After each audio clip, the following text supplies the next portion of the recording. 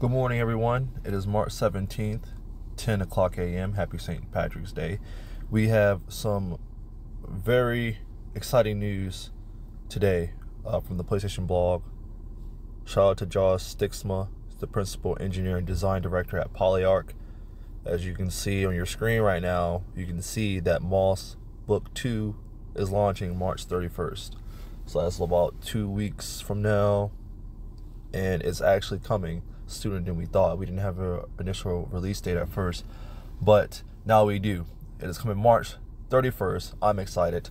Uh, Moss is one of my favorite platforming games on the PlayStation VR system, and I'm very happy that Moss Book 2 is finally coming, and it's coming a lot sooner than I expected. I thought maybe it was coming in the summer, but it's actually coming in two weeks. That's amazing. So I'm gonna read uh, the PlayStation blog. I'm gonna read y'all the PlayStation blog of what's going on and like what's gonna go on and you know the new abilities and whatnot and enemies and new friends that you're gonna meet along your way uh, and along your journey with Aloy through Moss Book 2. So says Moss Book 2 launches March 31st. New PSVR gameplay revealed. Quill wields a mighty noose hammer, fights new enemies, and explores locations both lush and industrial in new PAS Underground episode. It's finally happening. On March 31st, exactly two weeks from today, you'll be able to reunite with Quill in Moss Book 2 as the next game in the franchise. Book 2 builds on the story you started with Quill in the original Moss. In this continuation of the journey, the stakes are higher than ever as Quill works to save the world of Moss and end the merciless rule of the Arcane. New allies, old friends, and the very world around you will offer help along the way. But in the end, it is you alone who can lift Quill up to save this world and together rise to legend.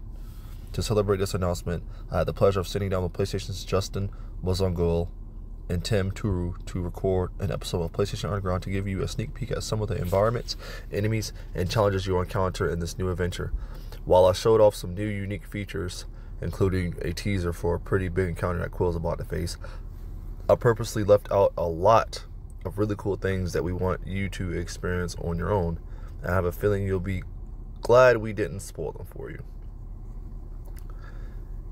I don't really want to see the gameplay at all. I just want to be surprised, you know, when I actually sit down and play it for myself. I know there's some people out there who likes to look at gameplay and, you know, see what's working with. I already know this game is going to be a great game. It's going to be the one of the best PlayStation VR games to come out uh, for the system before, you know, PlayStation VR 2 releases next year. if you don't have time to watch the entire PlayStation Underground episode, here are some highlights that I think you'll enjoy. We'll start the episode in the gardens, an area just outside the castle that you traveled to in the first game. There's a reason you made the journey to the castle, but we won't spoil that for you or for the few of you who have yet to play Moss. If you have not played Moss and you're watching this, you have PlayStation VR, go buy it right now. I don't care what the price is. Uh, go buy it right now. It's been on sale a couple times. Um, go get it, go play it, and you know help him get that platinum trophy. You know before Moss 2 comes out, then get the platinum trophy for that. I got the platinum trophy for the game. Um, it's one of those trophies though that you know the game has that you got to play through the whole game without dying. That uh, was a lot of challenging for some people, but I managed to do it and get it. But like I said, go get it. You you're gonna love it. Um, by now, you're a couple chapters into the game where you'll have already met a few new characters, and both you, the reader, and Quill have unlocked new abilities. As the reader, you have a real physical presence in the world and in addition to guiding Quill, you're also able to reach and, and interact with the environment. Something you can expect to do in all new ways in book two. With a new with your new nature attunement abilities, you can now grow vine bridges and paint vines on the walls to help Quill access places she otherwise wouldn't have been able to go.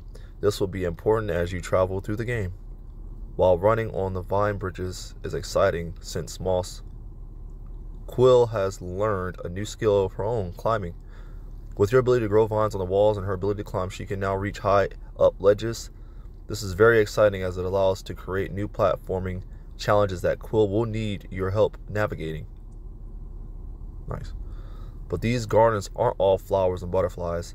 There is danger that lurks in the shadows. As you travel towards the conservatory, you'll face the Ripper, a new enemy, one of many that you can grab and interact with. It's super fun to wind them up and release them like wrecking balls. Let's just say that sometimes you will want to keep them around to help solve puzzles. When playing Book 2, you'll travel to exciting new places including the foundry beneath the castle and Psitter of where arcane weapons are forged. Luckily, Quill is gifted a hammer to better equip her for this daunting challenge. As you'll see, it's quite hefty in size, which makes it a lot fun to crush things. And with both you and Quill working together, it can be used not only to make scrap metal out of armored enemies, but also as a crucial tool to get out of other predicaments. Ooh, that looks sweet. Quill strong. Girl power, along with new weapons. Yes, I said weapons, plural. You'll encounter new enemies as you progress further into Arcane territory. Here's a quick glimpse of the bomber.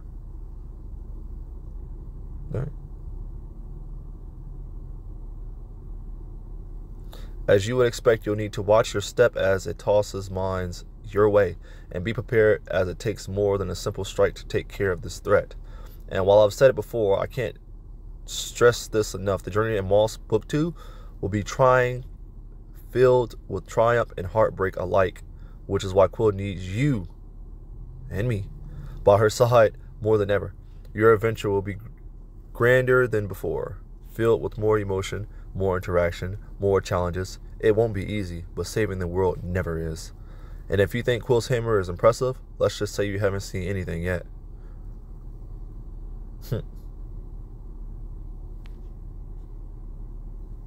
the team at Polyarc is extremely proud of this game, and we cannot wait to share it with you. And trust us, this was only a small taste of this all new adventure. We hope you love what you saw today, and that you'll fall in love with Quill all over again in the coming weeks. Seriously, can't March 31st get here any sooner? Ooh, I'm ready, man. So as you know, it's going to take, it's literally going to take off right from the ending of uh, Moss 1. If you haven't played Moss 1, go play it. You know, I'm not going to spoil anything, but it takes off from Moss 1. You're going to be, you know, taking off from the first game, getting new things to go along with Quill.